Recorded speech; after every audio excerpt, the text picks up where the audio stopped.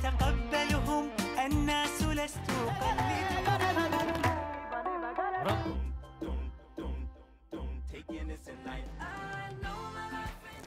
Assalamu alaikum warahmatullahi wabarakatu. Kama unatutazama sasa hivi, unaangalia kipindi chako cha Anashid, na leo tunazungumzia haki za mwanamume wa Kiislamu, na pia unaweza kudrop zile comment zako kwenye Facebook yetu ambayo ni at Anashid Y254 na pia Fatli Arabella na pia Abdirazak.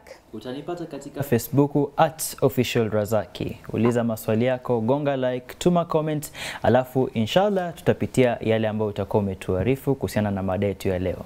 Kwanza nyumba ya kwanza imenifurahisha sana, hiyo ya Mahir Zain, asalamu alaikum, naipenda sana. Kwanza ndio ringtone yangu sasa hivi. Mashaallah. Na pia shehe imenikumbusha kitu moja, kuna wale watu ambao wanapenda kuweka zile ringtone ambazo ni za Qurani, unapata waneka zile alafu anaenda na simu zao msalani, na kwa vipi, inaruhusiwa?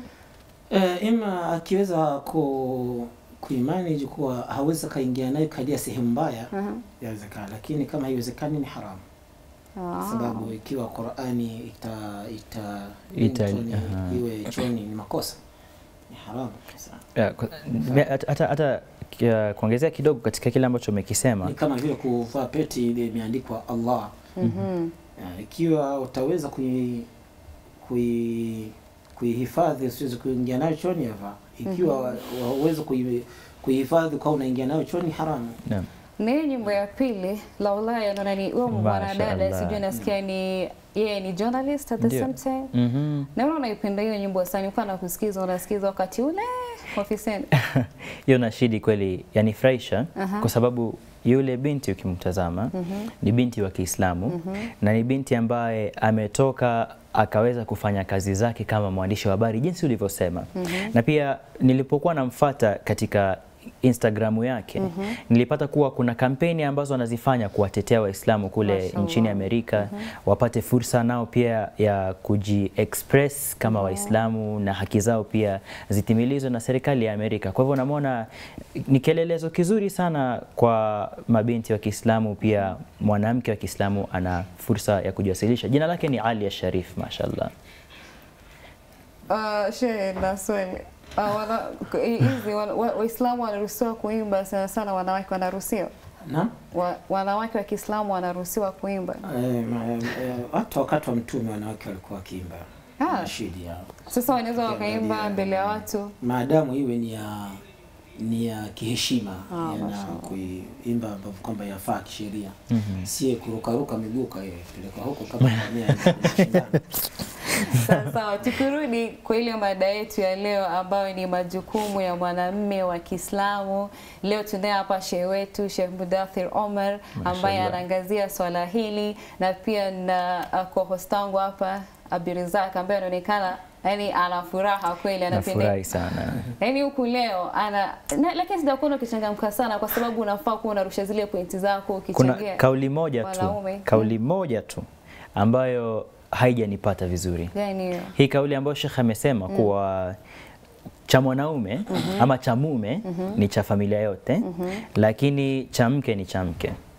Amesema vyema, lakini haijanipata vizuri kwa sababu kwa manufaa ya mtazamaji ambaye si Muislamu mm -hmm. na pia kwa manufaa ya jamii yote ifahamike, ningependa Sheikh atusaidie hapa kuifafanua. Ili ifahamike, huyu mwanaume ambaye chake ni cha watu wote ni mwanaume ambaye ameoa ama hajaoa, kwa sababu ile kisa ambayo nilikuwa nakutajia nilikuwa kwenye matatu, yule binti sikuwa najuana naye hata kidogo, hata jina silijui hata sasa, hata uso wake nimesahau Kwa hiyo kabisa. basket. La, sikulipa kwa sababu alikuwa mwadilifu, alhamdulillah, alikuwa mwadilifu sana. Ya, tayari alikuwa ametia earphones kwenye masikio, anaangalia nje, kisha yule conductor akaona nimempa mia, kwa hivyo ni nauli yetu sote, nikamuitisha change. Yule binti akamwambia ah, mimi silipiwi, mimi najilipia mwenyewe. Akalipa mwenyewe. Sasa hii kauli watu wametake advantage. Sheikh, naomba utusaidie katika hili swala. Naam, alhamdulillah. Tunaposema kuwa cha mke ni cha mke na cha mme ni cha mme e, ni cha wote, Naam. inamaanisha kuwa ni wale walioana kisheria Mhm. wamechukuana e, kwa kufungwa ndoa imehalalishwa. yeah. Kwa hiyo ile ndio ambao kwamba cha mume ni cha wote ni cha, na cha mke ni cha mke. yeah. Ima cha hizi sasa za kidunia zimeenea ambao kwamba utasikia labda mambo ya boyfriend Girlfriend. girlfriend Uh, haya ni masala ambayo kwamba hayaingii kwenye hiki cha mme haingii hapo. Ni mambo Ah. mengine. naam. Naam. Lakini pale kabla tusikize zile Rashid, niliongelelea kitchen party. Sasa leo shehe nakuuliza hii kitchen party inajulikana kuwa ni ya wanawake peke yake. yeah. Lakini mi pia ningependa kitchen party ya wanaume pia iletwe ili unajua, mi naamini kwamba no. ndoa nyingi zinavunjika, manake wanaume huwa hawakalishwi chini wakaambiwa unafaa kufanya hiki na kile, lakini wanawake siku zote ndo wanakalishwa chini, ambayo mdekeze mme wako, mfanyie hiki, mfanyie kile, lakini siku zote wanaume huwa hakuna kitchen party yao. Lakini sasa leo nakuuliza hii kitchen party ina, ni, ina, inakubaliwa katika Uislamu? Naam, yakubalika kwa sababu ni mafunzo ambayo kwamba yatamuimarisha ya- ule binti Mhm. pale anapoenda, na iwe ni ni ya kisheria, lakini kishavunja sheria itakuwa tena sina sio eh, kama vile ambavyo kwamba tunazungumza. Ikiwa ni ya kisheria yafaa, kwa sababu ni mambo ambayo kwamba yamfundishe yule mwanamke au yule binti anakoenda aweze kuishi vipi. Pia vile vile kama ulivyozungumza mambo ya wanaume pia, wanaume pia si kwamba labda na wao hataki ku, kuelekeza jinsi ya kuweza kuishi na mke wake. Inatakiwa sema tu haya ni mambo ambayo kwamba yamechukuliwa na mila za watu fulani, wakaonekana ni mtoto wa kike peke yake. Lakini katika mafunzo ya Kiislamu ni kwamba mtoto wa kike apate mafunzo na mtoto wa kiume pia apate mafunzo, kwa sababu pale kunaingia ni sehemu mbili ambayo kwamba walikuwa hawajuani. Huyu ana malezi yake na huyu ana malezi yake. Kweli. Kwa hiyo huyu mwanaume ni lazima afundishwe jinsi gani ya kuweza kuishi na mke eh, na huyu afundishwe jinsi gani ya kuweza kuishi na na, na mme e, nakumbuka nimesoma kitabu kimoja cha Muhammad Nasr. mm -hmm. Kuna bwana mmoja alisema mimi sintooa mpaka nishawishi watu mia moja nikitimiza mtu wa mia moja mimi nitaoa. Ah, akashaurisha watu tisini na tisa akasema sasa imefika imebaki mmoja, kesho nitakayekutana naye tu atakuwa ndio mshauri wangu. mm -hmm. Sitaki kujua atakuwa ni jinsia gani, yoyote nitakayekutana naye huyo ndio nitatimiza mia moja na nikishatimiza mia moja ndo nitaoa. Akiamka asubuhi akapanda farasi yake akiondoka, akifika njiani, njiani hakuna mtu yoyote isipokuwa amekutana na wazimu. Sasa kasa huyu mtihani na mimi nimesema nitakayekutana naye nitamshauri. Sasa wazima wazimu atanishauri nini? Akimkaribia ule wazimu kamwambia mimi nataka kunishauri. Akasema kwanza jichunge kwanza, farasi wangu sija kwa kupiga kwa tuza kuangukia huko. Kaza ai ya rabbil alamin, nimeshaangukia wazimu, sasa tanishauri nini? Sasa mimi nataka kuoa, sasa nataka kunipe ushauri. Akamwambia unataka kuoa eh? Wanawake ni watatu duniani. na akapanda farasi yake akaondoka. Naam. Wewe jamaa akasema ah, wa- wanawake ni watatu duniani. Sasa amemaanisha nini? mm -hmm. Sasa yule bwana akapata tatizo sana, akasema sasa huyu bwana nitampata wapi? mm -hmm. Akamtafuta akamtafuta, siku ya pili yake akampata. Akamwambia bwana, uliniambia wanawake ni watatu duniani, sasa sikufahamu ni nini. No. Akamwambia wa kwanza ni wako mm -hmm.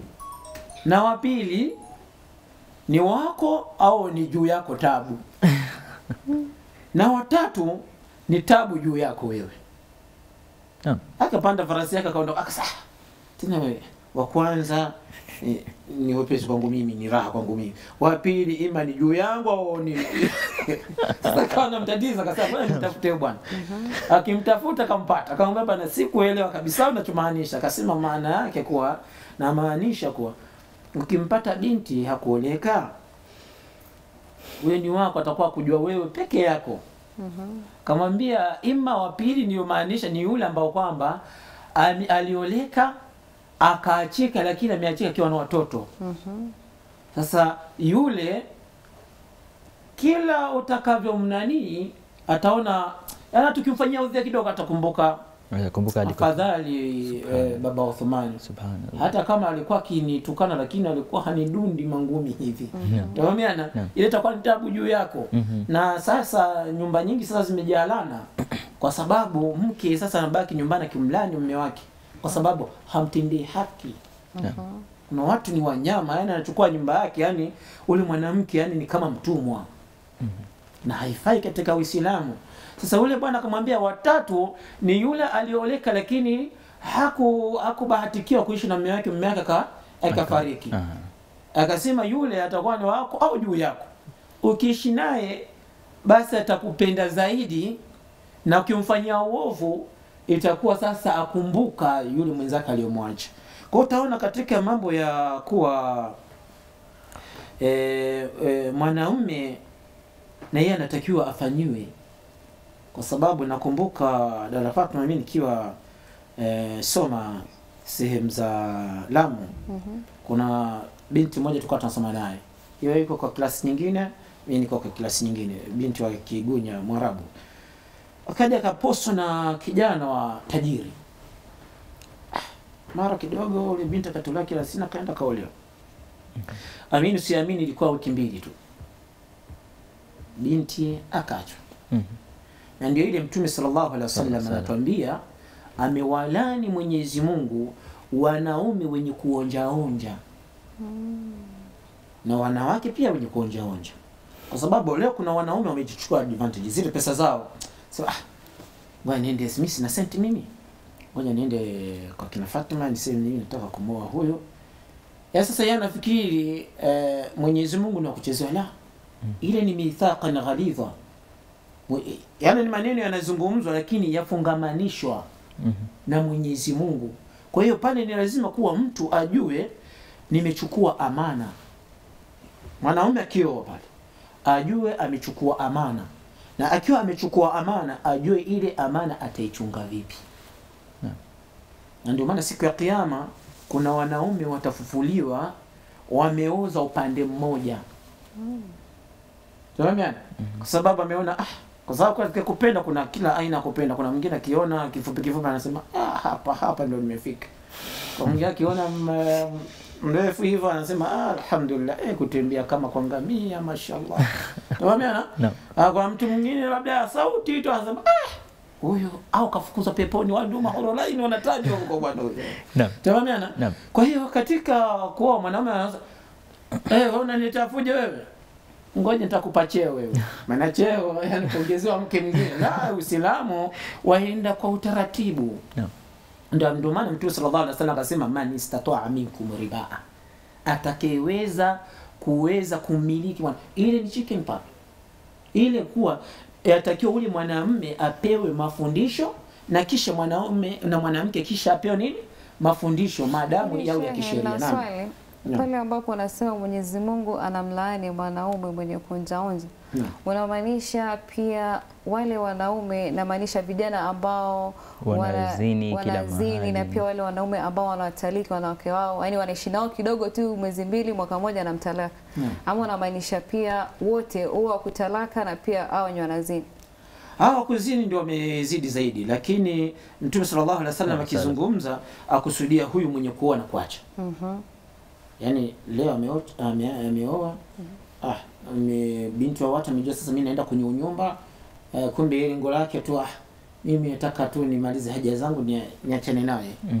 Tunafahamiana? Mhm. Kwa hiyo anayekusudiwa ni huyo ambao kwamba leo ameoa e, ameacha, kesho anaenda pale anaoa, anaacha. Tunafahamiana? Anakuwa anachezea mabinti wa watu. Wanaume wa Kiislamu wanayo tabia sana, apitie pitie sana wa kama zile za kwetu alafu baadaye anakuja anasema na "Ah, namtaka yule eh. mzuri ambaye hajapitiwa na watu. Sasa mimi nasema ingekuwa kweli kama uh, mzazi wa mtu anasema hapana, huyu afai, yaani Mwenyezi Mungu afai kumpa huyu binti ambaye amejilinda, amejiweka. Wewe kule umepitia kila mtu, alafu dakika ya mwisho unasema unamtaka huyu. Sasa wale wengine wamepitiwa pitiwa, inakuwa vipi?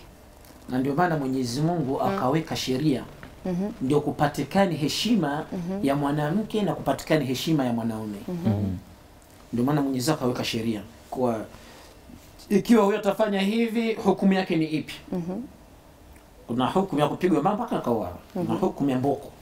Tunaona Viboko mia moja. ya viboko mia moja Naam. waliyashhada adhabahuma taifatun min almuminin, yani ile adhabu ashuhudie kongamano la Waislamu na watu Naam. Naam. Sasa tunachokuzungumza kuwa huyu mwanaume mwenye kuoa ni lazima ajue majukumu yake kama mwanaume. Ni lazima ajue majukumu yake kivipi? Akikuta nyumbani kuna kasoro fulani, ni lazima yeye kama mwanaume aulize, leo mbona naona kuna jambo fulani. Sheikh, kuna kitu kimoja ambacho ni muhimu sana ningependa tuzungumzie na, na singependa wakati utuishie kabla hatujalizungumzia.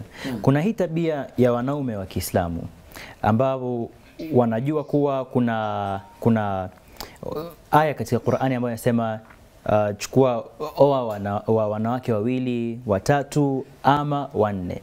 Sasa huyu mume akaishi na mke wake kwa muda wa labda mwaka moja, miaka miwili ama mpaka wakajaliwa na mtoto. Kisha akaoa mke wa pili.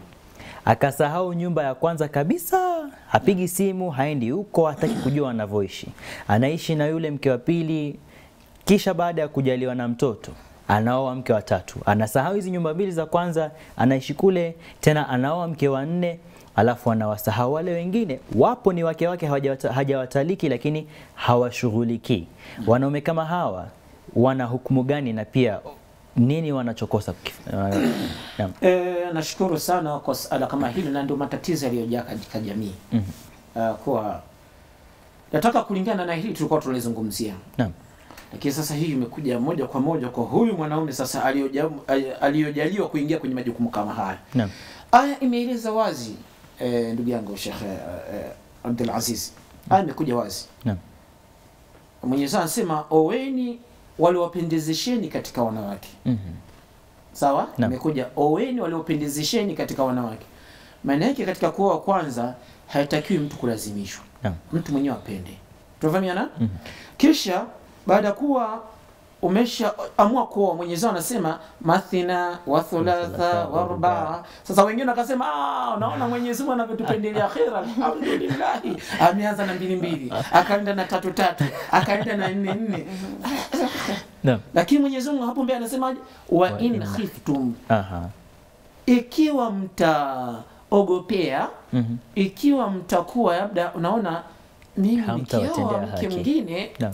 Sintofanya inavyotakiwa, achana nayo Mhm. kaa na ule ule mmoja tufahamiana No. na siyasemi haya eti kwa sababu labda naogopa mke wake labda namwangalia kwenye hatuzungumzi haya No. lakini ikiwa mtu ana uwezo anajua ikiwa nitanunua buibui huku na ni buibui wapi Huku kwingine nikinunua soda huku na huku nini soda pia. sio huku huku umeweka mfuko huku umeweka sukuma sasa ni ya bibi, bibi mkubwa eh? Naam. au sio ya mke mkubwa Naam. huku umefungasha sijui nusu kilo ya nyama Aha. la haifai hivyo Ya mke mdogo. sasa ukifika nyumbani mke mkubwa sasa wamemsalimia ah, ah mke salamu alaykum alaykum salam eh bwana ya chukua zawadi yako bwana ngoja nichukue simu yako ile huko kunaona huko kumevimba. Sema ah usiguse huko huko. Niko sawa, niko Ah, sawa. Niko sawa sana, niko sawa. Tawaliana. Hayo ni makosa. Naam. Kwa sababu haina haja ujitwishe ile majukumu kumbe ulikuwa hauwezi Ah. kuyabeba. Kwa sababu ukifanya hivyo utakuwa masuli siku ya kiyama. Mbona haukuwafanyia uadilifu? Sasa katika kufanya tabia kama ile inahesabiwa kama dhulma. Ni dhulma kubwa. Naam. kwa sababu umemdhulumu yule, uh, yule mke Mhm. kwa sababu kule wamekula vinono na huku wamekula kuanzia January to December wao wanakula sukuma Sukuma. mpaka meno sasa yamekuwa sasa yamekuwa green. Mm -hmm. na, eh, na tunajua kejeli za wanawake au sio? Labda mwingine kule anamwambia ah Hey, mashallah mimi kwangu nyama tu Mpaka Eh? mwanamke yule akaa akilia kwa sababu wewe umemnyima eh, haki kama hili. Hili ni dhulma kubwa. Lakini unadhani mimi saa zingine siwezi nikasema, siwezi kuwalaumu wanaume wengine. Mm. pengine wale hawajapata mafunzo, hawajui hichi nachokifanya ni kibaya. Sasa mimi nilikuwa naona pengine wale wanaoangalia nyumbani, mashehe wetu kama nyinyi, pengine mngekuja na zile kama organizations ambazo zina, zina deal na hizi mambo, kwa sababu wanaume hawana kitchen party. Sasa wao wangekuwa wanapelekwa pale ni kama classes, mm. wanafunzwa. Sasa inafaa kuwa kama uh, miezi tatu kabla uoe, nenda pale unaambiwa mwanaume wa Kiislamu unafaa kufanya -hmm. hiki kile, si ndio? Lakini si kama ama mwezi mmoja tu. Yaani wafunzwe, wajue. Maanake wanaume wa siku hizi ni kama wametelekezwa sana. Yaani wa- ndiye wao ndo uh, wanasema head of the house, si ndio? Wao ndo kuongea, wao ndo kusema. na wao wana msemo mmoja wanasema money talks Exactly. Eh, yeah. Sa kwanza ukipata wale wanaume ambao wana ila nyingi mwanamke wake hasemi kitu Yeah. yeye ndo simba pale nyumbani mm -hmm. sasa wanaume kama hao Tena maneno machafu, sikudanganya sana dada. sana hawakuheshimu wanakuambia Azungumza sema anasema wewe shukuru wewe, nimekutoa kwenye kunguni huko. Nimekuweka kwenye godoro wewe. Eh, nakwambia, na kuweka vizuri, yani makosa makubwa. Kumsimanga mwanamke yani kuanza kumtajia kuwa wewe ulikuwa kadhaa na kadhaa, kwenu kuko kadhaa na kadhaa, hayo makosa makubwa. Naam. Kwa sababu mpaka uje kumchukua kwao si kwamba labda alikwambia mimi nimekosa pa kulala au nimekosa chakula au nimekosa kadhaa tuvamiana mm -hmm. eh, Mwenyezi Mungu Subhanahu wa Ta'ala asema msitoe sadaka zenu mm -hmm. kwa maninginiko na, ma, na maudhi Mm eh? Naam. anasema qaulu ma'ruf maneno mazuri yasiyokuwa na, na chochote Naam. Tufahamiana Naam. khairun min yatbauha Aha. na kuna watu wengine hawajui jinsi ya kuishi na wanawake, kwa sababu mwanamke anaweza karidhishwa na kitu kidogo na anaweza kakasirishwa na kitu kidogo. Naam. Tafahamiana? Naam. Mfano e, kutoa salamu, kusalimia na kumpa mkono na kumuhag mm -hmm. sawa, Naam. na kumpongeza lile alilolifanya nyumbani mm -hmm. ni jambo lepesi, Naam. Na pengine labda wakati mwingine umebeba kijiswiti chako umekiweka mfukoni Naam. labda kiswiti hicho umesaidiwa barabarani no. Ukasema ah, ngoja hiki kiswiti ngoja nimpelekee my sweet heart Aha. Eh? Naam. exam my sweet heart, ah, funga macho kidogo nipe nikupe zawadi. no. Utampa ile sweet akiona hivi sasa anafurahi anaona kama umempa dunia nzima no. na ile hali Ni kiswiti, eh, eh, kiswiti. shilingi moja. kuzekana huyu msaidia njiani unaona? no. Eh, sasa kwa hiyo ni lazima wanaume na wao wajue jinsi ya kuishi na jamii yao na jinsi ya kupenda Naam. isiwe labda mpaka sasa leo wanawake wanaathirika na mambo ya media Aha. sawa Mwingine angalia anaona Alejandro. mke Mm. anahagiwa na- ahagiwa mke na mme wake. Ametoka kazini hivi mke amechokachoka mara mwanaume ameingia pale ameanza kukorofisha mambo pale. Kwani mimi nilioliwa na gunia? Na- nalijipaka tu. Sasa inakuwa sasa mtu anasema eh, mke wangu toka ni muoe amebadilika Sheikh. Hebu nipe nasaha nitaishi vipi na mke wangu? Aya. Ah, umetaja Ya, kitu cha muhimu sana Naam. kuwa huyu mume Naam. akiona mke wake amebadilika amekuwa mtundu Naam. ndio wakati anakumbuka shekhe lakini ningependa pia kama waislamu tuchukue mfano wa wenzetu wasiokuwa waislamu wakati wanakaribia kuoana wakati huyu mume ameenda akamposa mke wana mafunzo ambayo ndani ya miezi miwili ama mitatu kabla ya kufanya harusi mm. wana appointment na yule kiongozi wao wa kanisa, nawaambia njooni kila jioni, kuna couples education, jinsi mtakavyoishi na mke, jinsi utakavyoishi na mume. Na nadhani ni kitu ambacho kitasaidia sana kabisa. sana sana sana kwa na. sababu Rasulullah sallallahu alaihi wasallam sisi ndio kiongozi wetu na, na ndio ametuachia mafunzo yote, ametufundisha mambo ya romantic. Naam. Tufahamiana? Naam. Leo utaona kitu kikubwa, labda mtu ataona ni jambo kubwa, labda kama kushare na mke wake kikombe. mm Mhm. Tufahamiana? -hmm. Mtume aliyafanya hayo yote tufahamiana, japokuwa leo utaonekana eh, jamaa eh, na lillahi si mwanaume tena, mtafutieni buibui bwana. Naam, Eh, ionekane labda eh, mna kama saa hizi Ni madada utaona ma boyfriend na girlfriend leo wanaingia kwenye mamili hao watu wanaona vile wana chesi vile vikombe unaona. Utaona, eh, kumbe maisha ndio haya. Kumbe Uislamu umetufunza mambo kama hayo. Tunamwambia Mtume sallallahu alaihi wasallam siku moja Bi Aisha iko kwenye siku zake. Naam. na mtume wanakula naye.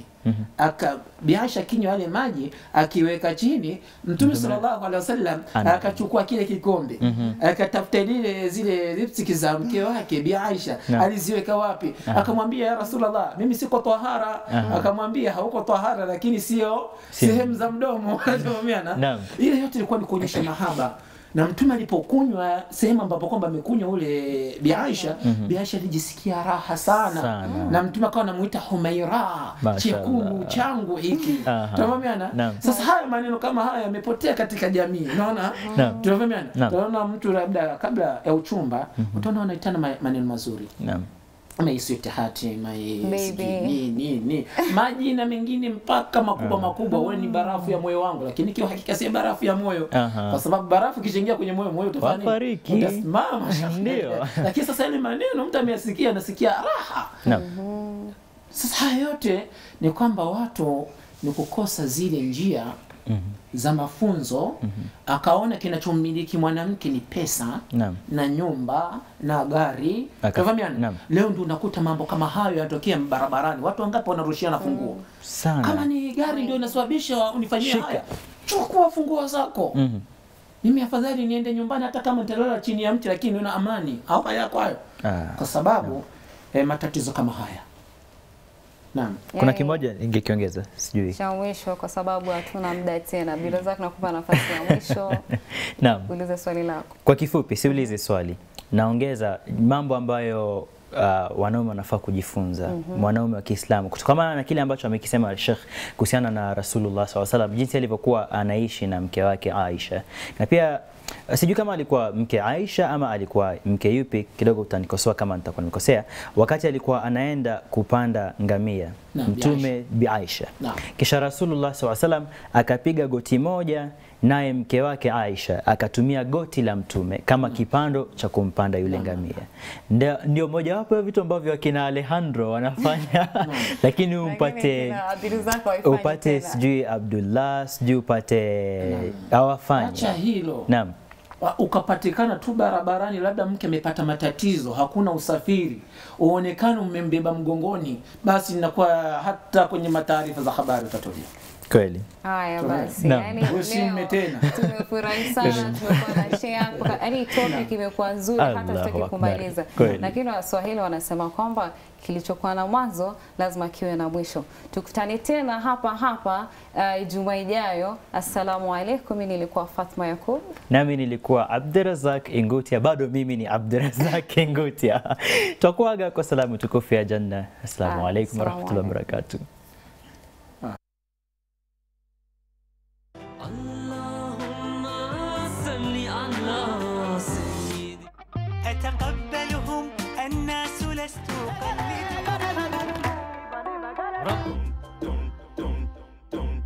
missing light. I